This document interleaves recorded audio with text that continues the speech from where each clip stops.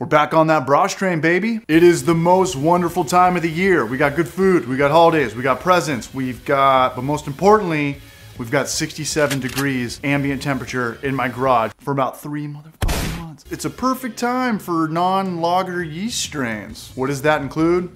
A lot. Red wine, ales. But for this video, you saw the title. There's no clickbait here, Brages and Bragettes. We are here so I can ask you if you can put me on your MySpace top eight. We are here because we want to make hard seltzers. And we're gonna make three. Hard seltzers are as popular as ever. They're still just too damn expensive. Everybody who everybody who knows how to make hard seltzers knows that it's about half of what it would take to brew a five gallon batch of beer. But the real kicker is that it's not labor intensive at all. There's no 60 minute mash. There's no 45 minute Vorlauf recirculation. There's no sparge.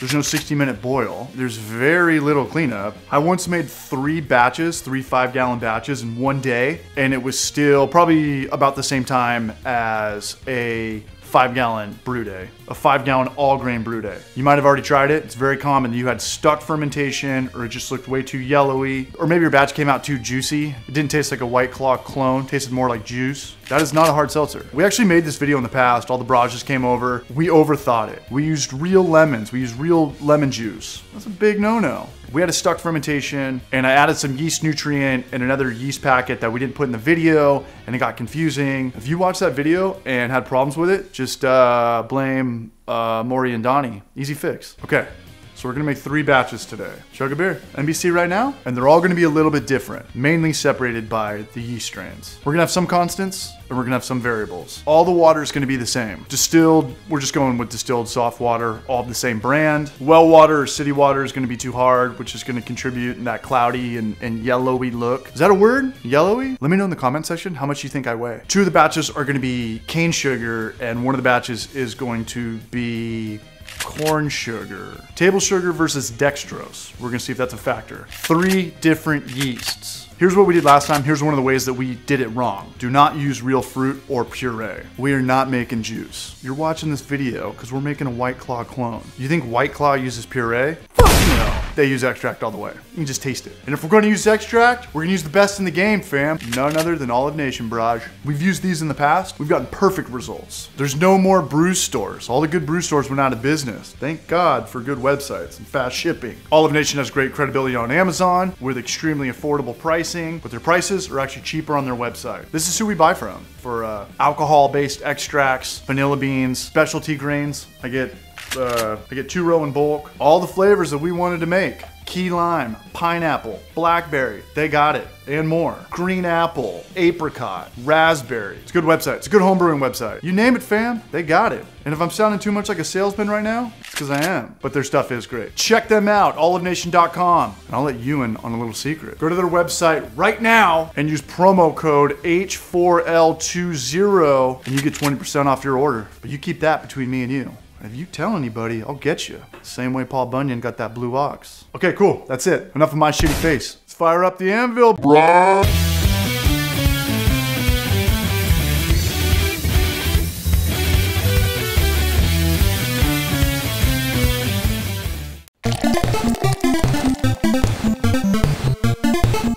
Hell is it? Does anybody even know? Scored mine off Amazon. Kind of pricey for dry yeast, but let the experimentation commence. Turbo yeast is often called distiller's yeast. Word around the campfires that you can get up to 20% alcohol by volume with this yeast. You've probably heard of double IPA, maybe even triple IPA. But can you say octuple IPA? All right, five gallons of distilled water. We do not need six. We're not gonna be boiling a gallon off. We're not even gonna bring it to a boil. Just get it over 180 degrees Fahrenheit. Now stir in your four pounds of cane sugar. Check it out. No camera guy today. Just using this external monitor on its own tripod. This video is COVID friendly. These CH table sugar bags already come in increments of four pounds, which is perfect for shooting for a 5% ABV social sparkler. No water additions or any yeast nutrient. I just want to see what the turbo yeast will do with nothing except table sugar. Let's kill the heat, stir it in for a good five minutes, toss in your chiller, connect it to a pre-chiller, just keep stirring until we're under 70 degrees Fahrenheit. The more you stir, the faster you're gonna cool down. Just like Campbell's soup, baby. Always have a strong ice game, fam. A one gallon jug of frozen water is eight pounds of ice. Ice up, Braj. Always remember, one Braj's trash is another Barrage's chill system. Get on that StarSan game, let's pitch the yeast. Click in the top corner of the screen if you want to learn how to make these $7 fermenters. Original gravity, 1040. Boom. Within 20 minutes, the airlock was going AWOL. So far, So good. The next day. Next step. Next step. What's the next step? Yeah, I got your next step right here. Go over to Spotify and check out the Brajcast. It's serious beer talk. We're gonna start uploading a ton of content. Learn how to pull chicks, fire your boss, not be able to afford a Mach 3 razor like me, how to hold in your stomach better for wedding photos. Follow the Brajcast on Spotify. I'm not asking, I'm telling. All right, but let's check out our concoction. The next day, let's check it out. Head into the garage. Let's pull a gravity reading. 10 0 0. Crazy how that worked in one day, 24 hours. 5.25 ABV. Give it a taste. It smelled, looked, and tasted just like sake. It didn't taste like hard seltzers. Kind of a bummer. But then the light bulb just went off. Grow brain, CH. We just made 5% sake in one day. Do 8 pounds of sugar next time. Get it up to 10%. Sell it all day at your shitty restaurant. Enter a sake competition. Win first place. Buy me a burrito. Let's call it even. We'll talk about this more at the end of the video. We'll circle back. We can bring this back to hard seltzer. I'll tell you how at the end. But let's get on this next batch. Red Star Cuvée yeast. It is not difficult at all to find. Homebrew stores should have it if they're still in business, and if not, it's dry yeast, so just buy it off Amazon. It is the most affordable yeast you will ever own. It says on the package that it works and it's excellent for restarting stuck fermentation. Sold. This is the yeast that we used in the past. This is how I make my hard seltzers. Make sure your scale game is strong, fam. I like to use a scale for the ounces and the pounds, and then I like to use a smaller one for water adjustments and, and uh, yeast nutrients. Same as before five gallons of the same water at 200-ish degrees, still using four pounds cane sugar, table sugar, granulated sugar, however you want to call it. Let's weigh out 3 grams DAP, diammonium phosphate, and 3 grams yeast nutrient. 6 grams total. This is to prevent us from getting a stuck fermentation. And you would know this if you followed the Brajcast every Wednesday night. It's a live virtual happy hour. Hang out, shoot the shit, talk with fellow brewers, have fellow brewers on, have business owners on. Check it out every Wednesday night. There's a chat. Say what's up. Troll us. Let us know if you like Subway or Quiznos better. Okay, that's the last thing I'm plugging. But add me on MySpace, Plenty of Fish, Tumblr, Discord, Patreon, Casting Couch, OnlyFans. All right, so let's get to 200. Let's toss in our sugar and our DAP and yeast nutrient. Give it a good stir, five minutes. Heat, chill, clean, heat, chill, clean, heat, chill, clean. Hard seltzers are nothing compared to a brew day. Crank them out. Chill to 70, we're gonna throw in two packets. Just cause uh, I've never done it before. And this yeast is like 70 cents a pack. Shit, throwing threes. Let's check our gravity, our OG. It's gonna be the same as the first batch. Nothing should have changed for that. Five gallons of water with four pounds of cane sugar. Congratulations, you've made it far in the video. 98 for All right, Salt NBC fam. Okay, two days later. I know this yeast and I know this process because I've done it before. Let's pull a reading. It gets to about 1020 and then it just dies out. That was the problem in the last video we made. Everybody's stuck with about a 2.5 alcohol by volume hard seltzer. It tastes good, but it tastes too candy-ish. There's still too much sugar in there. Here's the problem with stuck fermentations with hard seltzers. We are fermenting with 100% sugar, not wort. Wort has maltose, nutrients, minerals, carbohydrates. When brewing with 100% table sugar, we need to give it a ton of help to keep it going. Beer yeast alone wasn't made for this. Get your sanitized bottle out. Hit it with another yeast packet and three more grams of DAP, which is pretty much nitrogen that will help activate the yeast. And boom, just like that, the yeast is happy again. But we did have to open it up. Just keep watching until we get onto our third yeast. Two more days later, and we hit our final gravity. Finally got our 5% beer. No sulfur smell, no baby turtle farts, but it's kind of cloudy. It's not clear like White Claw, but we can fix that. Just keep watching. Keep that yeast nutrient game strong, fam. Keep that stuff airtight, and it's gonna last longer than your marriage. We're gonna cold crash this for a night, and let's talk about the real reason why we're here.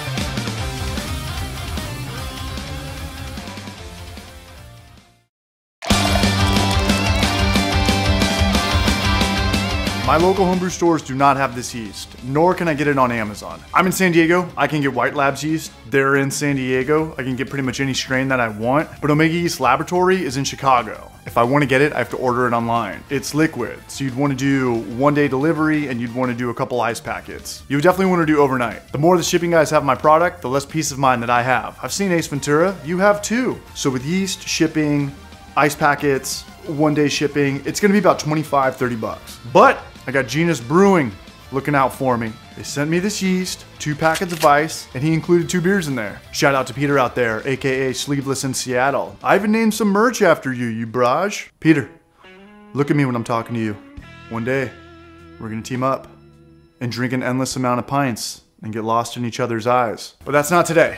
Stoked to have this yeast. There's not too many people I know from San Diego who've messed around with it. I texted Peter for any advice, and he said ferment hot. So I'm going to do my best to keep it above 85 degrees. Some of their Kveik yeasts are geared towards West Coast IPAs. Some of their yeasts are geared towards tropical esters that I'd use for a hazy. But this Lutra is supposed to be ultra clear and clean, so much that people have made pseudo lagers with it. All I know is that I'm in. Barrage Lord Trevor brought to my attention a four-day Lutra seltzer recipe that's catching some steam on the internet. Trevor brought over a pineapple hard seltzer on last Wednesday's virtual happy hour. It was delicious. It was the best homebrew one I've ever had but it was also the only homebrew one I've ever had. But let's give it a go. I was looking at the recipe and it requires a proper seltzer yeast nutrient pack that's 28 grams. That's one ounce. That's a ton more than any other recipe I've seen on the internet. Again, I couldn't get this proper seltzer nutrient in time for this video. I'm just lucky that I have the yeast, so I gotta improvise. I have no idea what they actually put in their yeast nutrient, but I do know what yeast nutrient is. It's DAP, diammonium phosphate, what we've been using. A salt that provides nitrogen to activate yeast. Yeast hulls, or dead cells, that acts as fatty acids for new yeast. Magnesium, zinc, other vitamins, vitamin B. The bottom line is that I gotta go off the fly. All I really know is that they recommend almost five times the amount as all the recipes I've been going off. But let's light this crowd candle. I have no idea what I'm doing, but I'm used to that. But let's just roll with it. Let's go ahead and use 20 grams of yeast nutrient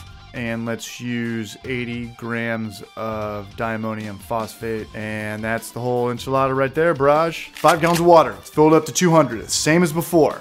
Now we're gonna weigh out four pounds of dextrose. But here's where I screwed up. Here's where I screwed up. And this is something that I learned for this video is that there's more fermentables in cane sugar than there is in corn sugar. So I used four pounds for the first two batches and then four pounds for this batch, but I should have done like four and a half to five pounds of corn sugar. There's more sugar, there's more fermentable sugar per pound in cane sugar than there is in corn sugar. Correct. Final answer. That was a bummer because my final gravity for this batch was like 1033. So I screwed up. It's gonna be about a 4% social sparkler. But you had four and a half or five. You learn from other people's mistakes. And another thing is I did the temperature control wrong. I It's super cold right now and I just had it in my tub. If I crank the heat all the way up, I can get my DIY temperature control to 90 degrees. But then you gotta drain the water, you gotta fill it up, you gotta drain the water, you gotta fill it up. I did that for four days. And if I were to do that all over again, I would just put a, a heat blanket around it and put it in a chest freezer or something. But hindsight's 2020, and I'm just being honest. You'd always rather be honest than political. And after four days of fermenting, we pulled a reading and we hit our gravity. 4% Lutra hard seltzer. It's as clear as water. It looks just like a White Claw, Truly, or LaCroix. This yeast is amazing. Definitely less is more with these bad boys. White Claw only uses a hint of extract. They all do. It's just a hint. If you use too much, it's gonna be overkill and it's gonna taste like vodka and it's gonna burn your mouth and sting your tongue. Start with a half ounce or a tablespoon and work your way up. Close your lid up, shake it up. This is why you wanna use extract. If you use fruit or puree, a lot of it's just gonna sit to the bottom. Plus it's gonna be way more expensive. Extract dissolves way better. We're not making juice, we're making a White Claw clone. So this is it. This is after I force carbed and my cold crash did nothing to the cuvee yeast. And I didn't uh, I didn't carb the sake one. And here is the Lutra. Here's the Lutra right here. And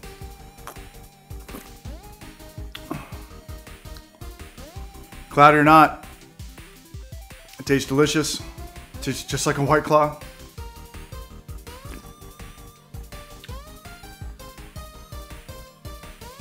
I mean, other than the flavor, vanilla versus key lime, I don't know how to tell them apart. This video, uh, that's that cricket in here. This video turned out super well. The reason I wanted to do that turbo yeast is because one of the best White Claw clones that I've had at a brewery, they do use turbo yeast and they did not want to be named. They did not want me to say which brewery it was, but that's what they do. They make their hard seltzers with turbo yeast and then they use a carbon filter and it sucks everything out of it and it ends up looking like that. But we're not gonna talk about that. We're already way too deep in too many things on this video. If you guys watch the Brajcast happy hour tomorrow night, I'd, I would love to talk about carbon filters.